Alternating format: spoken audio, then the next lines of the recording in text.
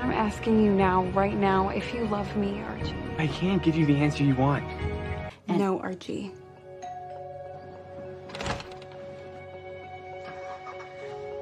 Walk me to school? I needed time to process, to separate what my mom wants from what I want, I think I want.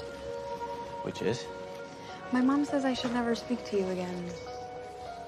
But I, you know, even though you don't like me like that, I still want us to be friends, best friends. You do? Yeah. Oh, I mean, that's great, Betty. Me too. I'd be lying if I said it didn't hurt. And I'm sorry, Betty. I didn't do it to be a. I don't know. I just I thought it would be better in the long And it run. will be.